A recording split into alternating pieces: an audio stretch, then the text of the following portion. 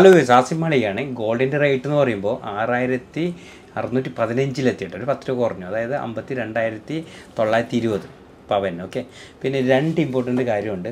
ഒന്ന് നമ്മളെ S S L C പാസ്സായി. അപ്പോൾ അതിന്റെ ആശംസകൾ ആദ്യം തന്നെ നേരുകയാണ്. പിന്നെ എസ് എൽ സി കഴിഞ്ഞാൽ ഇനി പ്ലസ് വണ്ണാണ് അതെങ്ങനെ പോകണ്ടേ എന്നുള്ളൊരു സംശയം ഉണ്ടാവും. ഏകജാലകം എന്ന് പറയുന്ന സൈറ്റ് വഴിയാണ് നമ്മൾ രജിസ്റ്റർ ചെയ്യേണ്ടത്. അത് നമുക്ക് നമ്മൾ അടുത്തുള്ള അക്ഷയാലോ അല്ലെങ്കിൽ നമുക്ക് സ്വന്തമായിട്ട് ചെയ്യാൻ പറ്റും. അപ്പോൾ അതിന്റെ ഡേറ്റ് എന്ന് പറയുമ്പോൾ മെയ് പതിനാറിന് ആരംഭിക്കുകയാണ്. അതുപോലെ ഇരുപത്തി അഞ്ച് വരെയാണ് അതിന്റെ ഡേറ്റ് ഉള്ളത്. അതുപോലെ ട്രയൽ അലോട്ട്മെന്റ് വരുന്നുള്ളത് മെയ് ഇരുപത്തൊമ്പതിന് വരും. ആദ്യ അലോട്ട്മെന്റ് ജൂൺ അഞ്ചിന് വരും. അപ്പോൾ അതിൽ പ്രത്യേകം പ്രതി ശ്രദ്ധിക്കേണ്ട കാര്യം എന്ന് പറഞ്ഞാൽ നമ്മൾ സ്കൂളിൽ ഏതാണ് തിരഞ്ഞെടുക്കുന്നത്? ഫസ്റ്റ് നമുക്ക് ഏറ്റവും ഇഷ്ടപ്പെട്ട സ്കൂൾ ഉണ്ടാവില്ല. അത് ഫസ്റ്റ് കൊടുക്കുക. അങ്ങനെ പത്ത് സ്കൂൾ നമുക്ക് തിരഞ്ഞെടുക്കാൻ പറ്റും. അപ്പോൾ ആദ്യം കൊടുക്ക കിട്ടുന്ന സ്കൂളായിരിക്കും ഫസ്റ്റ് കിട്ടാൻ നമുക്ക്. അത് ഫസ്റ്റ് സ്കൂൾ അതുപോലെ വിഷയമാണെങ്കിലും അതേപോലെ ഏകജാലകം സൈറ്റിൽ പോകുമ്പോൾ കാണാൻ പറ്റും. ഏതാണ് ആദ്യം വേണ്ട വിഷയം? ആ വിഷയം കൊടുക്കുക. അതുപോലെ ക്ലാസ് ആരംഭിക്കുന്നത് ജൂൺ ഇരുപത്തി നാലിന് ആരംഭിക്കുന്നുണ്ട്.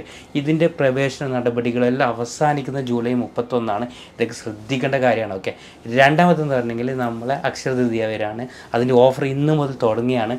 അത് ഒരു ഓർണമെന്റ്സ് എടുക്കും മറ്റൊരു ഓർണമെന്റ് തികച്ച് ഫ്രീ ആയിട്ട് കൊടുക്കുന്ന ഒരു ഓഫറാണ് അത് ശ്രദ്ധിക്കുക.